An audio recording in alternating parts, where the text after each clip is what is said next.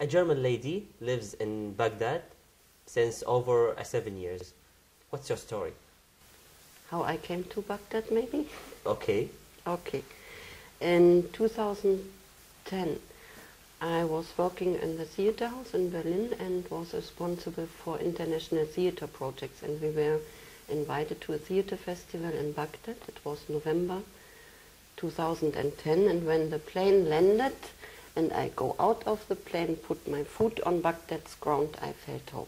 And this is the start of the, let's say, of a love story, but not with a person, with the city of, I call it Lady of Baghdad.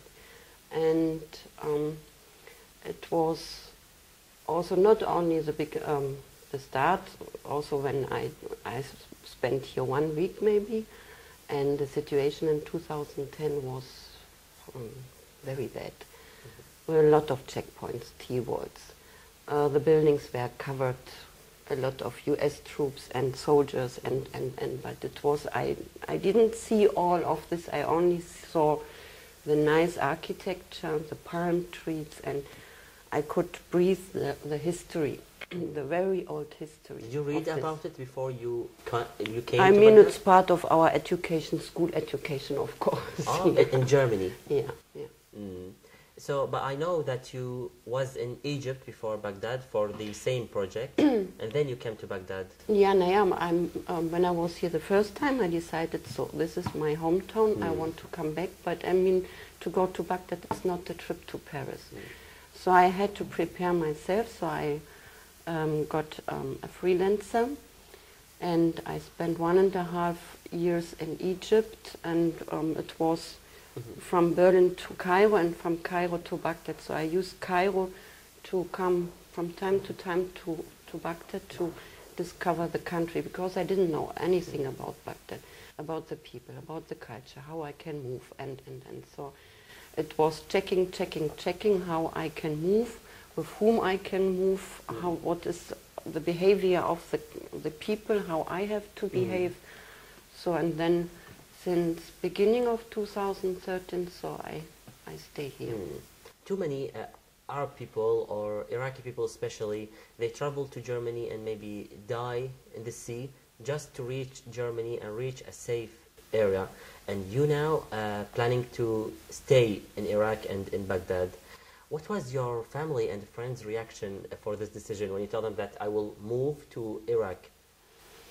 Um, first, they didn't um, think that I really want to stay. They was ah, it's a dream of Not our serious. lo- lo- yeah, it's a dream and it's temporary. She will work there, okay, for two years, for three years.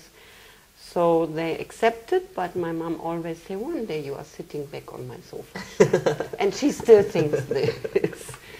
But meanwhile, I uh, face a lot of problems. The same like um, young Iraqi people tell me from the fights with the families. Mm. So I have the same, even I'm much older and I'm not in my 20s not anymore. much. no, but still, so I face the same problems. So I all, every time when if I'm in Berlin, if I'm fighting with my family, mm. they don't want me to go back because they are scared. But it's my decision. I can't stay without Baghdad. If I go leave Baghdad only for one hour, I Oh. feel so homesick. Homesick for Baghdad, not Germany. Mm-mm, Wow. only Baghdad. And talking about challenges, uh, what the biggest challenge that you faced when you moved to Baghdad? Like if we're talking about uh, language, food, uh, social traditions, what the biggest and the main challenge that you're facing now? I have no problem with uh, language, even I don't speak Arabic. I have no problem. I love the Iraqi food. I love Iraqi people with the social behaviors. Of course, I have difficulties, but still, I, as a foreigner, I can enjoy my freedom. So it's I'm not really involved in it, but the main challenge is um, the Iraqi bureaucracy, the public services. Um, uh, it's horrible. I'm sorry. It's It okay. is. Iraq. It's it's for instance more difficult to get a visa for Iraq than for an Iraqi to get a visa for Germany. Believe me. And then also um, Tarkib the independent artist group I belong to. Mhm.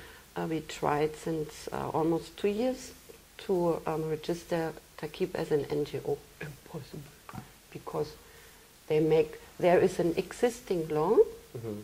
But there are people who want to undergo the law, Mm. And you don't. which is no, Even it's the only way. yes, no, no. It's a law. You have to follow the law. Mm, great. So talking about Tarkib, Tarkib is a, Mm. as you say, an NGO, non-government NGO, right? No, it's an independent artist Independent group. artist, Yeah, okay. we try to get Mhm. the status of an NGO. Okay. Um, who came with the idea? I mean, it was a process, a development. No? In 2000, end of 2014, a young artist, uh, Raat Mutter, he asked me, Hella, what is if we make an installation exhibition? And I very much liked the idea. Then he um, connected me with more artists, and we made all together the first um, Tarkib installation exhibition in 2015. It was one week, more a festival than an exhibition, but from the very beginning it was a teamwork. So nine artists were exhibited, and then after the exhibition, uh, we decided to continue as an artist, independent artist group, and we even made the next festival. So every year until now, we have every year in April the festival. Most of them are young, of course. Tarkib has a focus on um, young Young artists. young artists, yeah, but the people who are involved in Tarkib, Ah. and also young audience. Mm. So our audience is young. Yes. I, I went to uh, many events of Tarkib in the past few years, Mm. and I see something very beautiful that too many ages, uh, there is two genders uh, of the your audience, so you have a really big audience uh, Yeah. base. So how you how you make this? I would love to give you the answer, I don't know.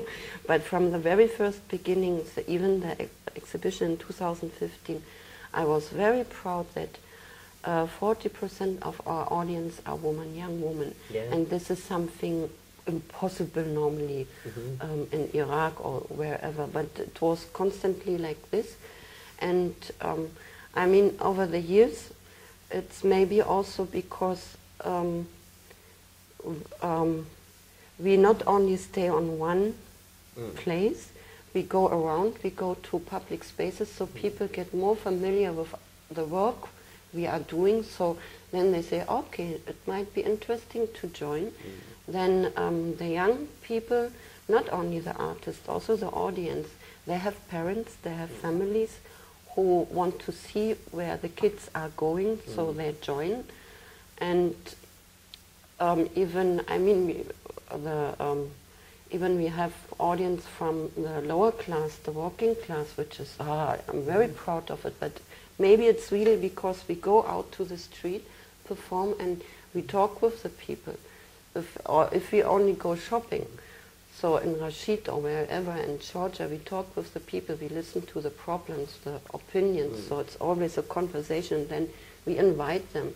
Some of them who work in Rashid in the shops are our neighbors. So okay, they come and see what we are doing. Um, living in Baghdad, um, everyone around you is actually an Iraqis. So you have any German friends or European friends that you have contact with? No, No one. no. so you're like I'm isolated. Not no, it's not isolated. I don't need it. Mm. When I was in Cairo, I mean, I go, don't go to another country to meet Germans. I Mm. go to anon- another country to be within the people Mm. who live in the country. Otherwise, I will not learn anything about the country if I stay in my in my community. So it's not even when I was in Cairo. There is a bigger community, German community, than in Baghdad. But I I was always with the Egyptian artist Mm. scene, not with uh, the Germans. And What's it's difficult for me to deal with Germans, by the way. the German people, if they watch you, they will not like you saying that. so, what the biggest thing that you like in Baghdad? And Architecture. mm. The architecture. I love the architecture of you mean the old uh, architecture? Mm, Yeah, and the modern architecture. Mm. So um, the city Baghdad, the city of Baghdad was mainly built, the main part was built in the 15th, beginning of 60s. You see a lot of art. It started under King under the king, and continued even with under Abdul Karim Qasim, so that not only architects, also artists built the city. So they built, uh, they designed the houses. Even you have this Abbasidan shape almost everywhere in the houses from Kadachi, and each square has a sculpture. Mm. And this Right. is uh, art in public spaces. This was something. Oh, most of the Iraqis, unfortunately, they don't see it. But if you tell them, look, Mm. There's something nice. Yeah. and the government have to like keep this uh, this uh, places and focus on Which them government? our government okay. Uh, Hella uh, I'm so happy for meeting you. Thank you so much Hella and uh, thank you for coming to my show. Thank you. Thank you for inviting me. thank you so much